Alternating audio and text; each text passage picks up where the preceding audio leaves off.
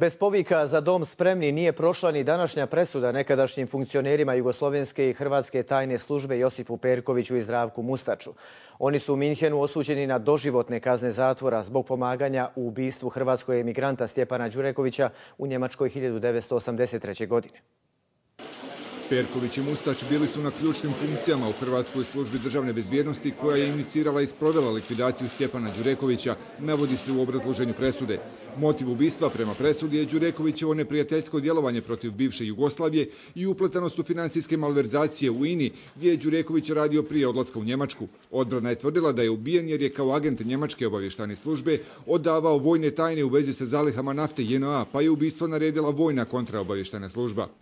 Ova presuda je čista kopija Pratesove presude, očigledno ima funkciju sačuvati čast njemačkog pravosuđa i te presude. E, mislim da što se tiče ključnih dokaza, vi to ne možete prepoznati, ali u ključnim segmentima dokaza nema. Više ima dokaza u Da Vincijevom kodu nego u ovom presudi što se tiče ključnih dokaza. Za Hrvatsku presuda je posebno neugodna jer je Perković, zadnji šef Hrvatske udbe, ujedno i jedan od osnivača Hrvatske vojne obavještane službe. Hrvatska je dugo odbijala da izruči Perkovića i Mustača Njemačkoj, a vlada Zorana Milanovića je zbog ovog slučaja ušla u gotovo otvoren sukup sa Njemačkom. Nakon svega što smo čuli od dokaza, presuda naprosto nije mogla biti drugačija.